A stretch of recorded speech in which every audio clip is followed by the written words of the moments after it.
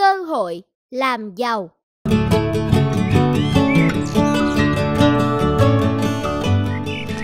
Làm cả ngày mệt trả rời Mà bà chủ không cho bữa cơm no mà về. Hơi, làm cả ngày có 5 đồng Đã vậy ngày mai lại còn phải đến sớm hơn nữa chứ. Thôi, mau về nghỉ ngơi, mai còn đi làm tiếp. Tìm người cắt cỏ Bốn hào một công.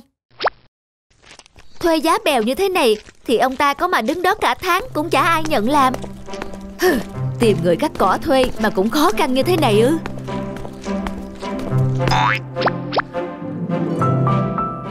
Thế nào? Hay là chúng ta nhận công việc này đi? Ôi trời Có bốn hào một công Còn thấp hơn chỗ chúng ta đang làm mà. Anh xem Ông ta thuê mãi Mà có ai thèm làm đâu. Nhưng nếu việc liên tục thì ờ, Không nhân gì nữa. Anh có muốn thì ở lại mà đăng ký. Chứ còn tôi Tôi về trước đây Hôm nay làm đã quá mệt rồi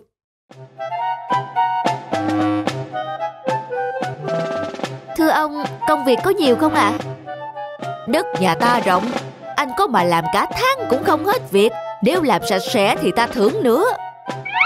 Dạ, vậy tôi xin làm. Được lắm, có phải dọn sạch và chở đi xa mà vứt nha.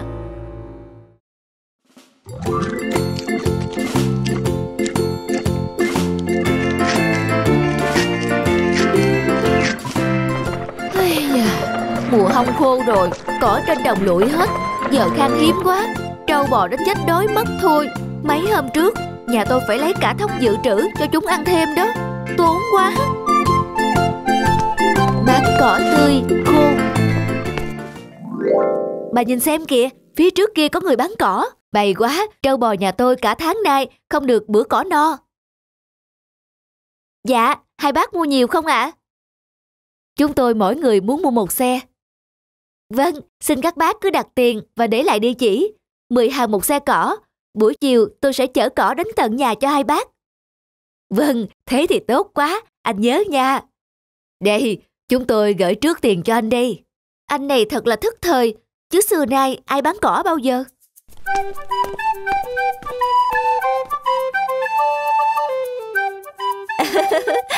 Như vậy là cộng cả tiền công dọn vườn và tiền bán cỏ trong hai tháng nay mình đã có thể có được một vốn kha khá trong tay. Có thể mở cửa hàng nhỏ bán cây giống cho bà con được rồi. May quá, giờ có cửa hàng cây giống của cây anh Tứ, anh Tư gì đó mà chúng ta không phải cất công lên chợ huyện xa cả ngày đường mới lấy được. Giá thành cũng vẫn vậy mà bớt được bao nhiêu công đi lại. Anh Tứ đó hả? Đắt hàng quá nhỉ?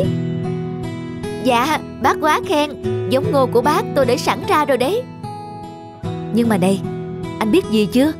Tôi thấy mọi người cáo nhau ở làng Trung, Rồi làng Hạ nữa, Cũng có người sắp mở cửa hàng kinh doanh cây giống đó. Dạ tôi có biết bác ạ. À. Vậy anh tính sao? Bên đó dân cư họ đông đúc, Cửa hàng lại rộng lớn, Anh liệu có cạnh tranh được không? Tôi tính đóng cửa hàng bán cây này bác ạ. À. Ây ây Tôi chỉ mới nói vậy thôi mà, chưa gì mà anh đã bỏ sớm thế. Tôi tính đóng cửa để chuyên tâm sản xuất cây giống cung cấp cho họ ấy chứ. Chính họ đã đặt tôi sản xuất đấy. Là anh cung cấp cây giống cho họ sao? Phải, nhà tôi bán cây giống một thời gian và rất đông khách. Kiểu gì cũng có người nhìn vào đó rồi làm theo. Vậy nên tôi phải thay đổi thôi, phải chuyển sang cung cấp, nhường cho họ phân phối vậy. Hay, rất thông minh. Cũng may những ngày lên chợ huyện lấy hàng, tôi đã tranh thủ học được kỹ thuật trồng cây mà tôi mới thông báo đã khối người nhập cây giống đấy bác ạ. À. Anh giỏi quá, thiên hạ còn phải học hỏi anh nhiều.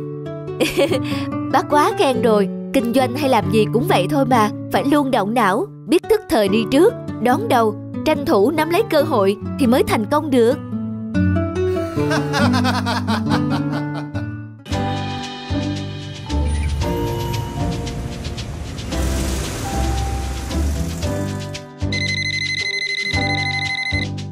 Alo, con nghe nè ba. Dennis, con có thể thu xếp về nhà một chuyến được không? Ba có việc gấp cần nói với con. Ba, công việc của con đang rất bận. Có chuyện gì thế ba? Nếu chỉ là chuyện ba giao cho con quản lý nông trại thì con không về đâu. Ba cũng biết là con không hứng thú với công việc ở nông trại mà. Ừ, ờ, Thì con cứ coi như về nhà nghỉ ngơi vài hôm đi Bà sẽ không bắt con tiếp quản nông trại nữa Dân, con sẽ suy nghĩ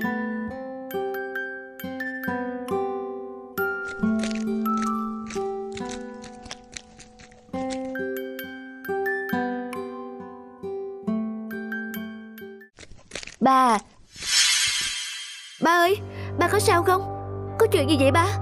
Mấy năm nay mất mùa Giá nông sản thấp Nhiều nông trại cạnh tranh gay gắt. Để duy trì hoạt động Cha đã phải vay nặng lãi một khoản tiền rất là lớn. Sắp đến hạn phải trả Nên người ta đến đòi bắt phải gán nông trại. Chuyện quan trọng vậy mà ba giấu con. Việc nông trại xưa nay con đâu có quan tâm. Với lại ba không muốn con phải lo lắng. Ba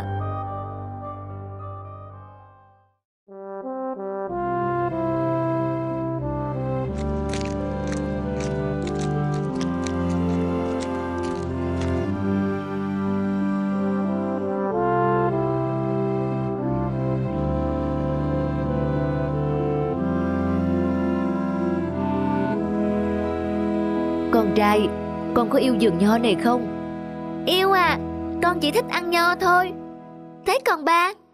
Có Ba rất yêu vườn nho này. Vườn nho do cụ nội con trồng. Rồi đến ông nội con Bây giờ tới ba. Ba yêu từng gốc nho. Ba sẽ sống cả đời để giữ gìn vườn nho này con à. Không thể như thế được.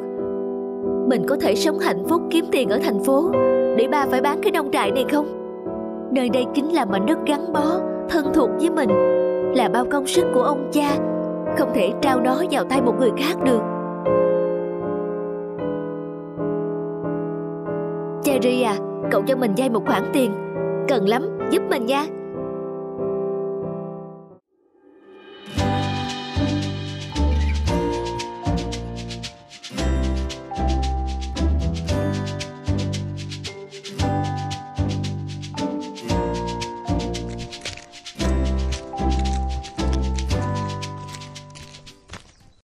Nho đang vào mùa rồi, cháu thuê người hái để bán thôi. Bác ơi, nếu có khách hàng nào muốn vào vườn tự tay hái quả thì bác giới thiệu giúp sang nông trại nhà cháu nhé. Cháu nói gì? Nho chính thì hái bán mà trả nợ đi chứ. Cháu đang muốn thử một hình thức kinh doanh mới xem sao. Hay...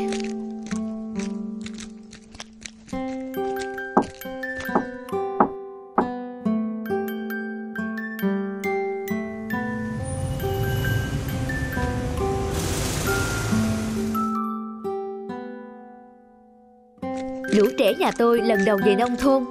Chúng rất thích lang thang trên cánh đồng Tự tay hái những trái nho chín mọng Và vui đùa với những con vật thân thiện trên cánh đồng.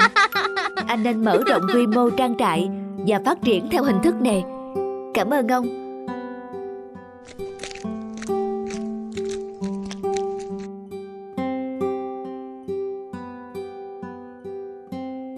Ba, ba ra thăm vườn nho đó à?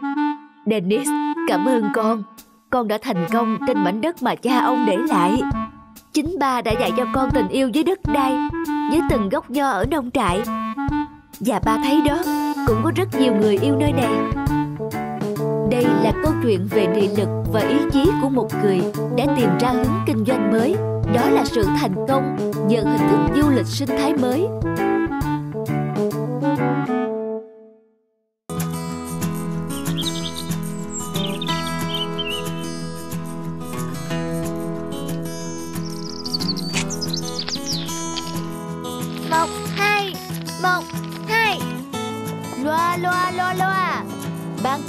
hội thi biểu diễn mùa xuân của các loài chim xin thông báo Hội thi năm nay sẽ được tổ chức sau một tuần tại bìa rừng.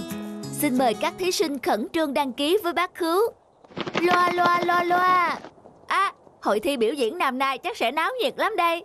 Hoan nghênh mọi người đến tham gia. Tuyệt quá, phải đăng ký và chuẩn bị thôi. Năm trước chị Hòa My đã giành giải nhất rồi. Năm nay chúng mình phải cố gắng mới được. Đúng rồi, phải luyện tập thật chăm chỉ. Hôm ấy mình phải diện bộ váy mới đi xe mới được. Tuyệt quá, tôi cũng sẽ góp vui bằng một tiết mục trình diễn hòa tấu.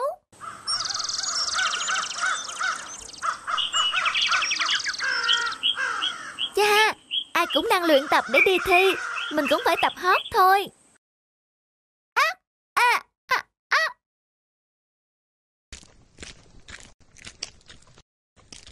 Thế này thì không ổn rồi, phải nghĩ cách khác thôi. À, phải rồi, làm theo cách ấy thì ăn đứt tất cả mọi người.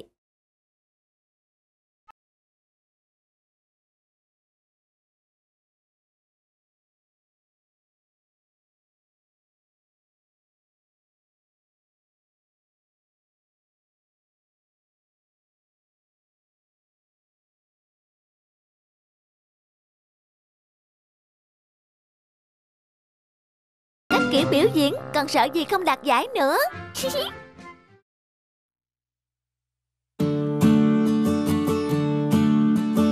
Như thường lệ, cứ mỗi dịp xuân về, cuộc thi biểu diễn của chúng ta lại diễn ra.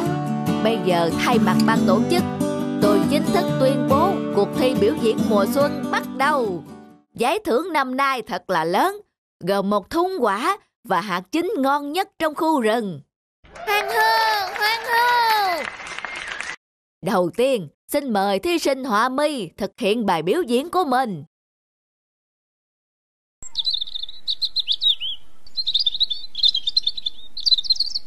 Hay quá, thật là du dương. Có gì mà phải làm quá lên thế? Biết mỗi giọng đó mà cứ diễn mãi. Đợi đó. Còn đây là thí sinh thứ hai.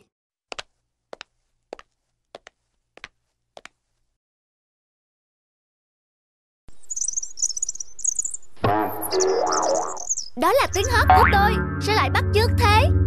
Đúng rồi ha Có vẻ giống tiếng hát của chị Họa Mi Nhưng mà còn thua xa. Cháu hót lại đi, ai lại đi bắt chước người khác thế? Ờ hay Đó là bài tập bò của tôi mà. Cái anh Sáu này Sao toàn bắt chước thế? Mà bắt chước có nên hồn gì đâu Làm hỏng tác phẩm của người khác. Rõ là bắt chước rồi còn gì. Từ từ Thì để tôi biểu diễn bài của mình đã chứ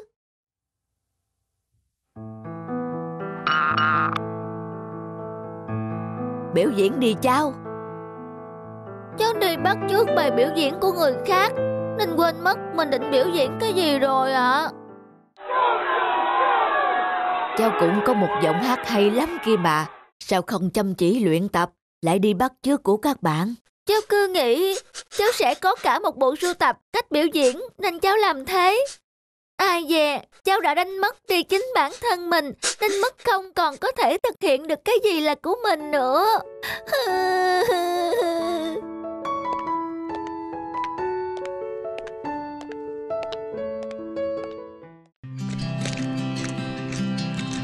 Đây, còn nửa tiếng nữa tao mới chạy. Cậu ở đây đợi mình chút nhé. Mình chạy đi mua chai nước rồi quay lại ngay. Ừ, nhanh lên nhé.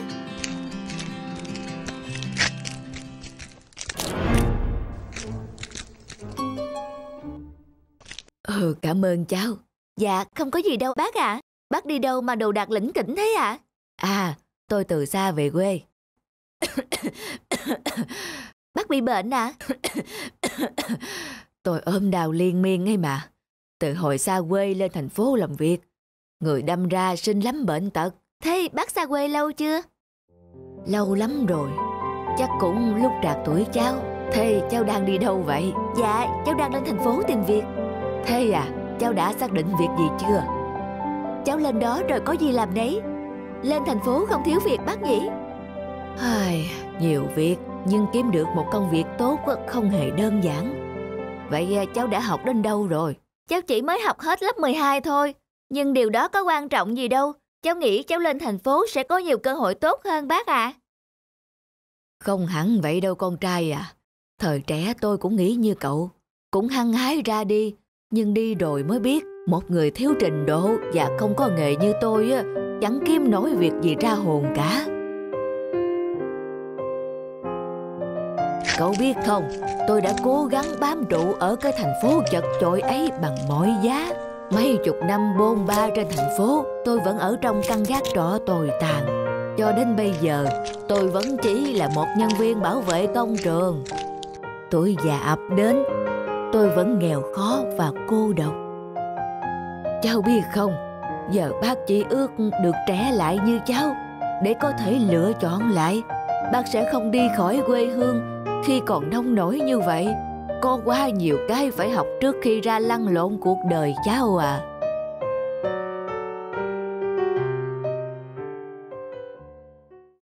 Ba, mẹ, chắc ngày kia con lên đường ra thành phố luôn.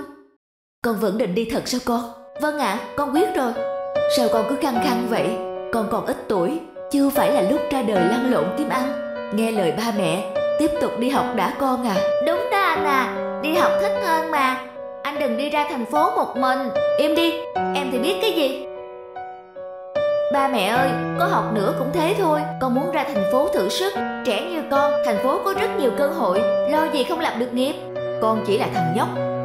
Mới tốt nghiệp cấp 3 Chưa học thức hay kinh nghiệm gì Thì lên đó chỉ có suốt đời đi làm thuê cho người ta. Chứ làm sao mà thay đổi cuộc đời được? Tốt nhất nghe lời ba mẹ. Tiếp tục đi học đi. Học, biết học đến bao giờ cho đủ hả ba? Chỉ bằng cứ để con đi làm sớm. Làm sớm thì thành công sớm thôi ba. Ạ Nhưng mà con à Thôi kệ nó, ba mẹ đã khuyên nó nhiều mà nó không nghe. Cứ để nó tự quyết định tương lai của nó đi.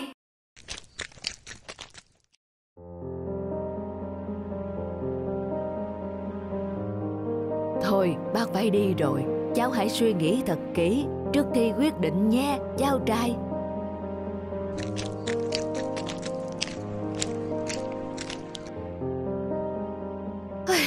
Mệt quá.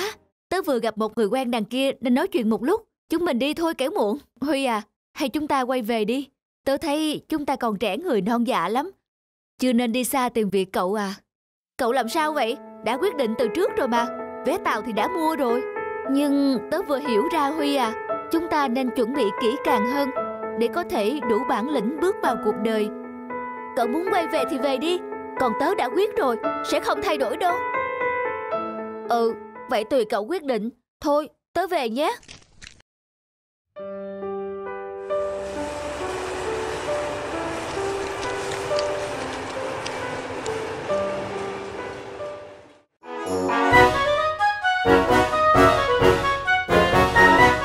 Hãy like, comment, subscribe kênh để xem thêm những video mới nhất nhé.